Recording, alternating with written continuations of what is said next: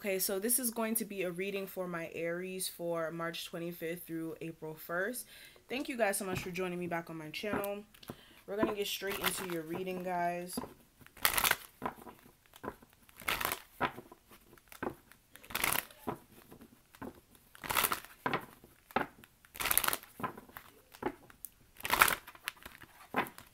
Aries from March 25th through April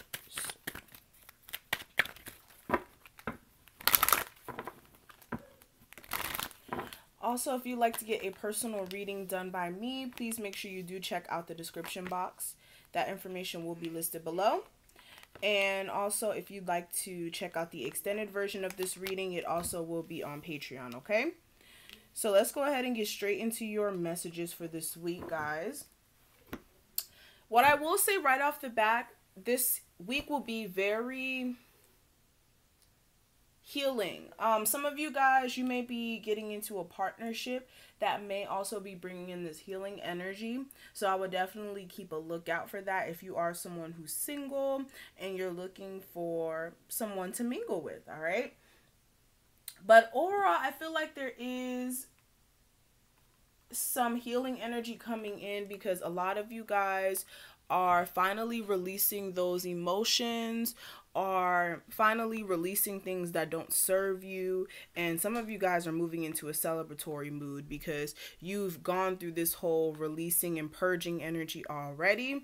And now it's just time for you guys to cultivate these blessings for yourself all right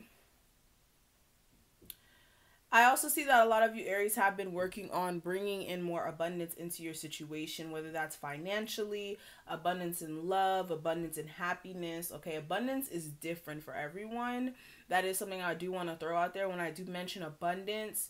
Abundance means a lot of something. So it doesn't always necessarily mean money. It just means you have a lot of something. So a lot of you guys, like I said, you guys have been manifesting some changes for some time here, you guys have been striving to put harmony or put things back in place. And some of you guys are realizing that everything that you speak out into the universe is going to manifest. So some of you guys this week what you will benefit from is maybe saying some affirmations when you wake up to keep you focused. Also making sure that you watch what you say as well so that you don't, you know, manifest some negative shit into your life. But I feel like a lot of you guys have been doing your affirmations. You have been voicing to the universe what you've been wanting for some time. And you've been trying to, like I said, remove yourself from any sort of chaos that's been being brought to you. And the universe is going to answer your prayers this week with some really big blessings, all right?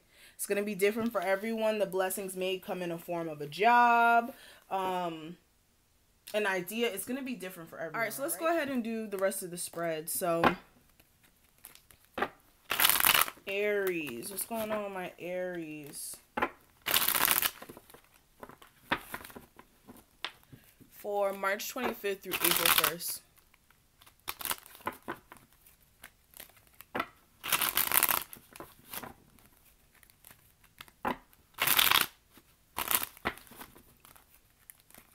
Aries from March 25th through April 1st. All right, the energy for this week for Aries. The challenge for my Aries from March 25th through April 1st. The guidance for my Aries for this week for March 25th through April 1st. How they can get the most out of this week and positive things that are happening or are going to happen for my Aries from March 25th through April 1st. All right, so let's go ahead and get straight into it. Um, what we do have for the energy for the week, we do have the Four of Swords. So some of you guys, you may be taking some time to reflect, um, this may be like taking a break from work, taking a break from a relationship for some of you guys. Um, or this could be you guys being in this meditative state to figure things out. You may be trying to gain your strength or recharge for some of you guys so that you guys can keep pushing forward here. But some of you guys also, the energy this week is you guys taking a break from situations and really pulling yourself back on situations where you had a really bad past with someone. This person may be trying to come in, or this may be someone who, again, you may have a soulmate connection with, but again, you guys may have had a bad past, and you may be unsure about whether or not you guys can move forward here, and you really just don't know. All right. But the challenge for this week, we do have the Page of Wands. And clarifying the Page of Wands, we do have the Empress card. So some of you guys, this could be you guys keeping that same momentum when it comes to your abundance here. Some of you guys have a lot of great ideas and you really want growth, but it's going to require you guys to keep that momentum and making sure that you guys are not just putting your energy out there scattered. So some of you guys, the challenge this week is to make sure your energy is not scattered here, all right? Make sure your energy is not scattered. And for some of you guys, it's going to be important for you as well to make sure that you guys are working on your communication so that you guys can get this growth within your relationships work whatever it may be. Just making sure that you guys are like up to par. That may be the issue this week. Keeping that same energy but um, what I am seeing for the guidance, we do have the Two of Wands. So the guidance here for you guys, clarifying the Two of Wands, we do have the Eight of Wands. So the guidance here is for you guys to determine which way you're going to go to receive the best results in in moving forward. Excuse me. I don't know why I can never talk the guidance here is for you guys to figure out which way you want to go to move forward or to receive these blessings the universe is trying to offer you. I feel like you guys do want forward movement, but you guys are having to decide how to get that. I hope that makes sense. Um, because some of you guys are very confused, or you may have a lot of options that are presenting itself to you you may not be sure which one is going to give you that real fulfillment. All right. You may be also confused emotionally and needing to move forward here all right but um yeah there's some decisions you guys are needing to make this week also making sure that you guys are keeping your balance all right keeping your balance um but what i am seeing for how you guys can get the most out of this week we do have the eight of cups Clarifying the Eight of Cups, we do have the Three of Pentacles. So walking away from situations that emotionally do not make you happy and where you are not the main priority, especially in your relationships. For others of you, this could be like in a job a job sense where you're emotionally not happy with what you're doing and you may be having to make a head over heart decision about your finances. For others of you, like I said, so you can get the most out of this week, walking away from things that don't work for you, focusing your energy on things that you do need to tackle and making some head over heart decisions, all right, about your connections here and focusing on your sense of stability because I feel like there is some positive changes coming in for you guys. Um, there also may be some potential love offers coming in, possibly from a water sign or an air sign that may be more stable and may require a little bit of work um, in time. But it's all about you really and truly about your decision this week about what you want to do with this person or these people coming in here. Okay, and the last card, this is going to represent the positive things that are happening or are trying to come in for you this week. We do have the Seven of Wands, the Nine of Pentacles, and the Justice card. So the positive things that are trying to come in for you this week, Aries, if you've been putting up a fight to again be financially stable or you've been like really trying to push forward here past any sort of adversity, past any sort of obstacles, I am going to see financial stability here and balance.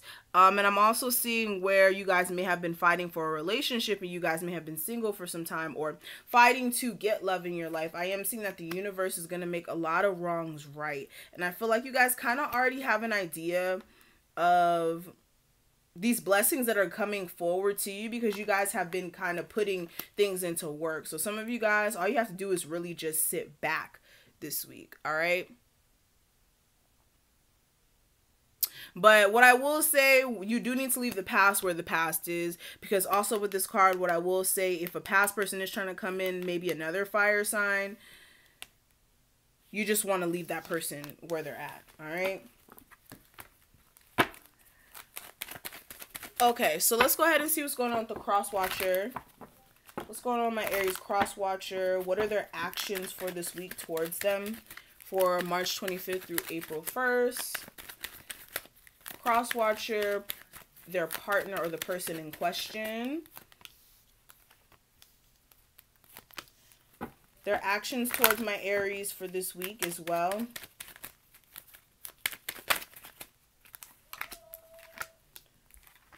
And the outcome of this connection for March 25th through April 1st for my Aries and their cross watcher. Alrighty, so Aries, your cross watcher, and I'm gonna pull a romance angel card for them as well. Um, your cross watcher, the person that you're dealing with, okay, um, they're showing up as the Queen of Cups in reverse, the Three of Pentacles, and the Six of Cups. All right. Um, I really feel like this person is not very emotionally expressive. They may have issues with that. It may not even be because of you. For some of you guys, it may be because you guys had issues in the past. For others of you, this person is just not an emotional person. They don't really like to express. I feel like you guys will be communicating back and forth with this person this week, but somebody's holding themselves back from really giving their all. All right. Um, I am seeing that also for some of you guys, this person realizes that you are someone who has a lot of responsibilities and they may be realizing that about you. Um, and I feel like this person is also feeling a soulmate connection with you, but for some reason, this person may be feeling as if they have to be really patient with you because there is no sense of stability within this commitment. All right, and I'm also seeing somebody like trying to be financially dependent on the other person. I don't know if this is this person or you guys on them, but I am seeing issues here. This person may also feel as if they're not in a financial place to be with you, and for others of you, it could be vice versa. All right, but we're gonna go on the other side and see what's going on with your person, guys. Um, if you do want to check out the extended version, the link will be listed below, and I will see you guys on Patreon. All right, bye, Aries.